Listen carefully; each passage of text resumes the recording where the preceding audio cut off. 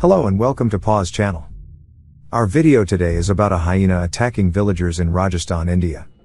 Striped hyenas are distributed over several countries. They can be found in North and East Africa, the Middle East, the Caucasus, Central Asia and the Indian subcontinent. There are four members of the Hyenidae family the striped hyena, the giggly spotted hyena, the brown hyena, and the aardwolf. Striped hyenas are a bit smaller than spotted and brown hyenas and are the least studied. They have a broad head with dark eyes, a thick muzzle, and large, pointed ears.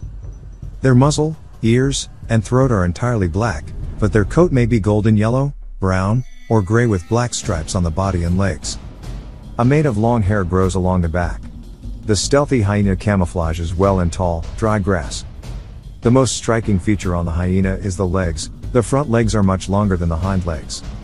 This gives hyenas their distinctive walk, making them seem like they're always limping uphill. Yet hyenas are agile and can run, trot, and walk with ease.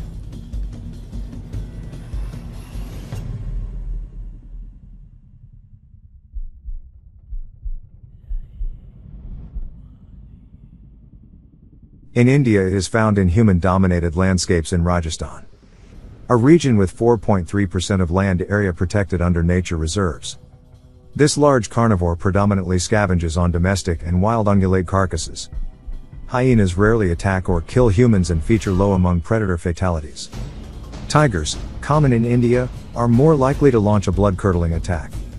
But sometimes if a hyena is injured, starving and in rare cases have rabies then they'll attack humans.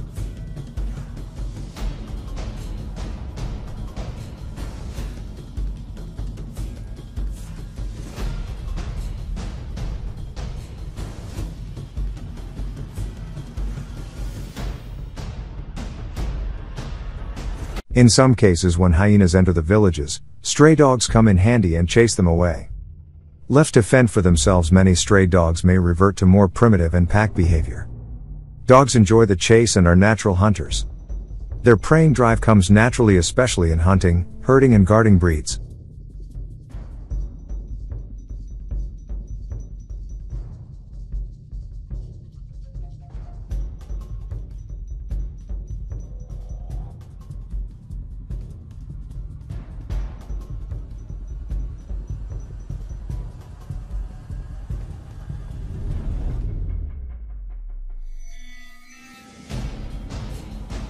The wild hyena had strayed into the village in the morning.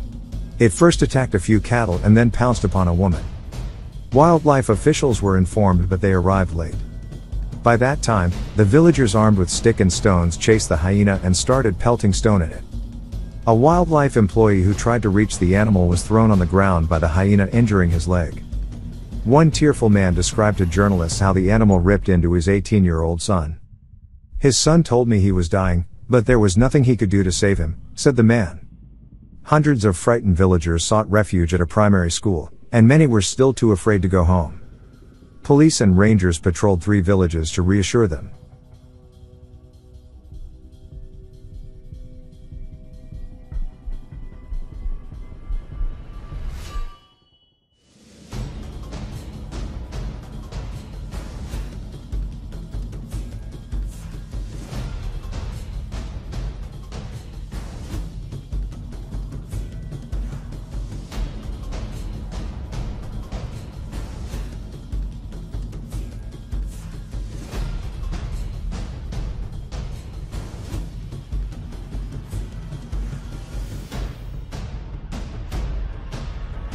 Thanks for watching.